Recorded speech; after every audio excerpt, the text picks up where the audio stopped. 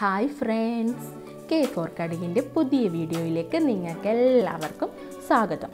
ഇന്ന് ഞാൻ വളരെ വേഗത്തിൽ എങ്ങനെ ടേസ്റ്റി ആയിട്ടുള്ള അവിയൽ തയ്യാറാക്കുന്നതെന്ന് നിങ്ങൾക്ക് പരിചയപ്പെടുത്തി തരാം. ഇവിടെ ഞാൻ അവിയലിന്റെ കഷ്ണങ്ങളായി എടുത്തിരിക്കുന്ന പച്ചക്കറികൾ ക്യാരറ്റ് മുരിങ്ങക്കായ കുമ്പളങ്ങ വെള്ളരിക്ക ഉരുളക്കിഴങ്ങ് അമരപ്പയർ സവാള പച്ചക്കായ പടവലങ്ങ. അപ്പോൾ നമുക്ക് അവിയലിന്റെ കഷ്ണങ്ങളാക്കി പച്ചക്കറികൾ നുറുക്കുമ്പോൾ നീളത്തിൽ വേണം നുറുക്കാൻ. പിന്നെ നമുക്ക് വേണ്ടത് തേങ്ങ. ഇവിടെ ഞാൻ ഒരു തേങ്ങ ചിരകിയതാണ് എടുത്തിരിക്കുന്നത്. പിന്നെ നമുക്ക് ഒരു ടീസ്പൂൺ മഞ്ഞൾപ്പൊടി വേണം. അതുപോലെ തന്നെ കറിവേപ്പില പച്ചമുളക് ജീരകം പുളിക്ക് വേണ്ടി തൈര്. പിന്നെ നമുക്ക് വേണ്ടത് ഉപ്പ് എണ്ണ വെള്ളം. ഇത്രയും കാര്യങ്ങൾ വെച്ചിട്ട് വളരെ വേഗത്തിൽ നമുക്ക് നല്ല ടേസ്റ്റ് ആയിട്ടുള്ള അവിയൽ തയ്യാറാക്കാം. അപ്പോൾ നമുക്ക് ആദ്യം തന്നെ ഈ കഷ്ണങ്ങൾ വേവിക്കാം. ഇതാ നമ്മൾ ഒരു പാത്രത്തിലേക്ക് കഷ്ണങ്ങളെല്ലാം മാറ്റി ഫ്ലെയിം ഒന്ന് ഓണാക്കി നമ്മൾ ലോ ഫ്ലെയിമിലിട്ട് വേണം ഈ പരിപാടികളൊക്കെ ചെയ്യാൻ അപ്പോൾ നമുക്ക് ആദ്യം തന്നെ കുറച്ച് പച്ച വെളിച്ചെണ്ണ അതിലേക്ക് ഒഴിക്കാം. അതിനുശേഷം ഒരു ടീസ്പൂൺ മഞ്ഞൾപ്പൊടി ഇടാം.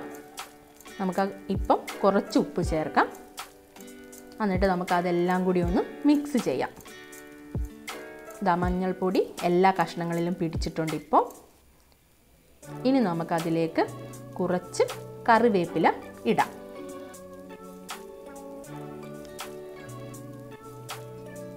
അതിനുശേഷം പച്ചക്കറികൾ വേകാൻ വേണ്ടി ഒരു ബൗൾ വെള്ളം ചേർക്കാം. ഇനി നമുക്ക് നമുക്കതെല്ലാം കൂടി ഒന്ന് മിക്സ് ചെയ്യാം.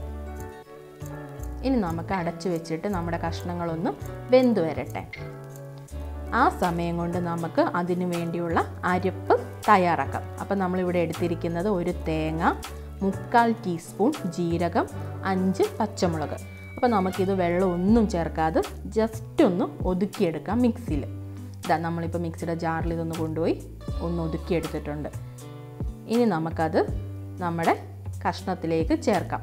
ഇതാ നമ്മുടെ വെള്ളമൊക്കെ ഏകദേശം വറ്റി വന്നിട്ടുണ്ട്. കഷ്ണം ഒരുപാടൊന്നും വെന്തിട്ടില്ല. ഇനി നമുക്കതിലേക്ക് അരപ്പ് ചേർത്ത് കൊടുക്കാം. ഇനി നമുക്കിത് നന്നായിട്ട് മിക്സ് ചെയ്യാം.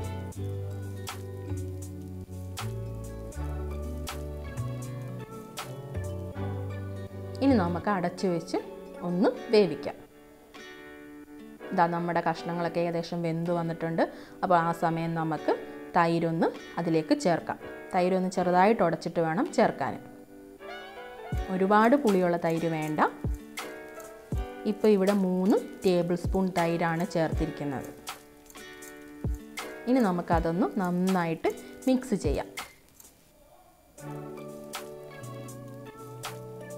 എന്നിട്ട് നമുക്ക് കുറച്ച് പച്ച കറിവേപ്പില ചേർത്തിട്ട് കുറച്ച് പച്ച വെളിച്ചെണ്ണയും കൂടി ഒഴിക്കാം. എന്നിട്ട് നമുക്ക് ഫ്ലെയിം ഓഫ് ചെയ്ത് അതൊന്ന് അടച്ചു വെക്കാം. നമ്മൾ കുറേ സമയം കഴിഞ്ഞിട്ട് ഇത് എടുക്കുമ്പോൾ നല്ല അടിപൊളിയായിട്ടുള്ള അവിയൽ റെഡി ആയിട്ടുണ്ടായിരിക്കും. അപ്പോൾ നമുക്ക് പുതിയ വീഡിയോയുമായിട്ട് വീണ്ടും കാണാം.